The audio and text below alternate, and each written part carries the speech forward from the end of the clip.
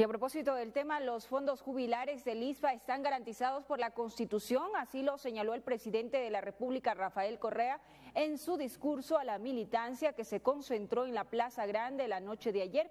A continuación vamos a escuchar parte de su intervención. Subsidios Estado ISPA. El Estado es el único empleador, el que pone la parte del empleador para las jubilaciones.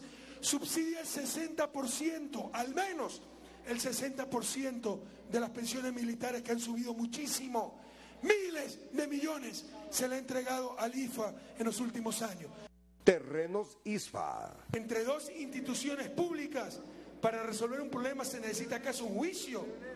Además, ¿para qué el juicio? Para recuperar por vía legal lo que hemos pagado de más, que casi nadie lo cuestiona, porque la ley es clarita. Se tenía que pagar el avalúo municipal y nos cobraron cerca de siete veces más ese valor. Ya basta de tanto abuso, compañeros.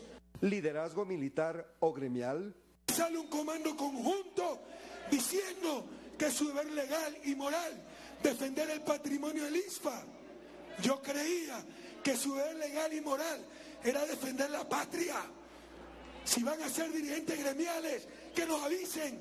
Eso es lo que está en disputa. Diferencias de clase en Fuerzas Armadas. Los unos comían cierta clase de comida, los otros otra comida de muy mala calidad. Los unos, y todavía, se me jubilan con jubilaciones que no hay en ninguna parte del mundo. A los otros todavía les falta tanto para completar su pensión.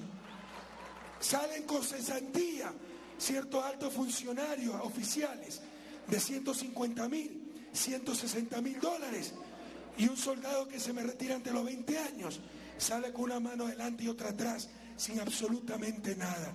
Verdaderas razones del problema. Dos cosas están ocurriendo. Primero, el viejo país que quiere regresar. El viejo país de esas Fuerzas Armadas autárticas que querían ser autónomas del resto del país. Todo para ellos, nada para el resto. Ese es uno de los problemas que enfrentamos. El otro es que todo lo van a politizar, todo.